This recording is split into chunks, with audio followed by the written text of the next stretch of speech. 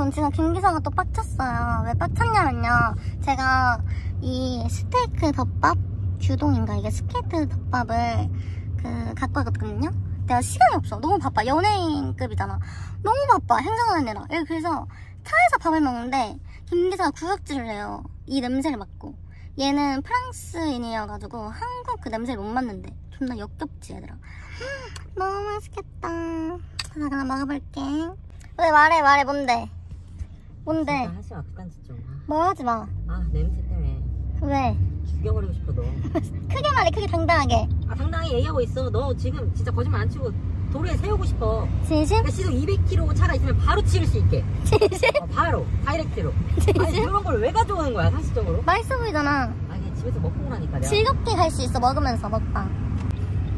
다 고속도로 덤프트럭 옆에 세워줄 테니까 거기 거기 옆에서 뭐차 뒤지던지 아니면 몰래 먹고 와. 자 커피 서비스. 뭔 서비스? 김치찌개 먹는 대신 주는 서비스. 아 무슨 내가 개야?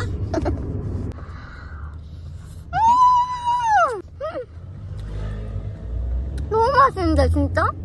아 밖에 풍경도 너무 좋아. 아 이날 꿀값을 해. 와 진짜. 풍경이 너무 좋아. 와 너는 그 먹방계에서도 장르를 창조한다. 어떻게 거기서 먹방을 할 생각을 하지? 기차에서 먹는 느낌? 와 진짜. 음.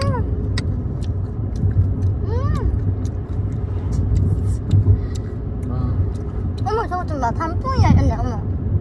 아, 너는 약간 뇌가 약간 건전지로 움직이는 애 같아. 행동하는 거 보면. 와 단풍이 열렸어.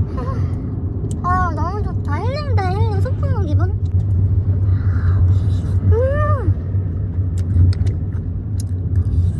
음. 이제 김기사를 한입 줄게요. 안 먹는다고. 안 먹어. 먹어줘. 야. 사고나 사고나. 아. 아.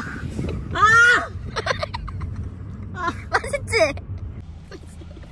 아 존나 맛있네. 존나 맛있지? 인정하지? 존나 맛있는 거. 존나 맛있지?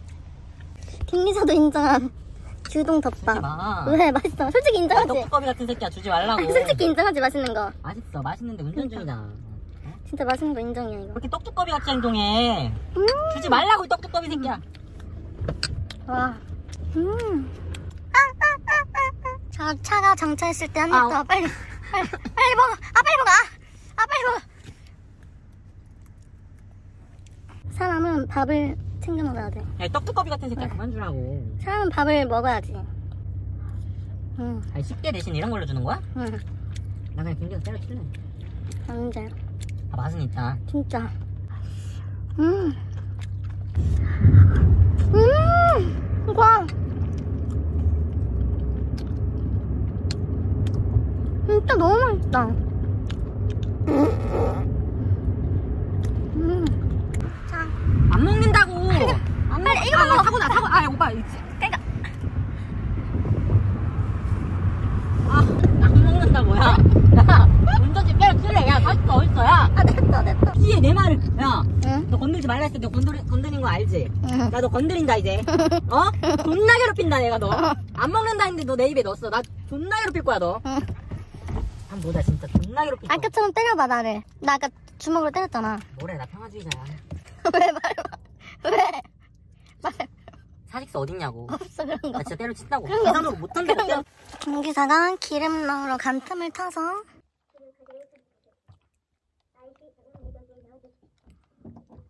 김기사가 말랐거든요. 약간 나랑 체질이 비슷해. 나도 말랐는데 김기사도 말랐어. 그래서 이렇게 안 챙겨 먹어주지? 그러면 살이 막 10kg, 20kg, 30kg, 40kg까지 막 빠져. 마이너스 40kg가 막 감량된다니까. 진짜. 내가 지금 43kg인데 3kg 나갈까봐 겁나. 진짜 40kg 감량돼서. 하루에 막 3kg씩 빠져. 난 진짜 무슨 내 몸에 무슨 병이 있는 줄 알았는데 병원에 갔다? 그냥 살이 잘 빠지는 체질이래.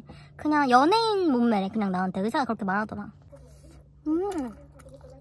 아! 꺼져 제발 릴스야 릴스. 꺼지라고 뭘 릴스해 빨리 먹어. 빨리 먹어. 꺼져 제발 빨리 그냥 싫어. 빨리 먹고 출발해 그냥. 빨리 먹고 출발해.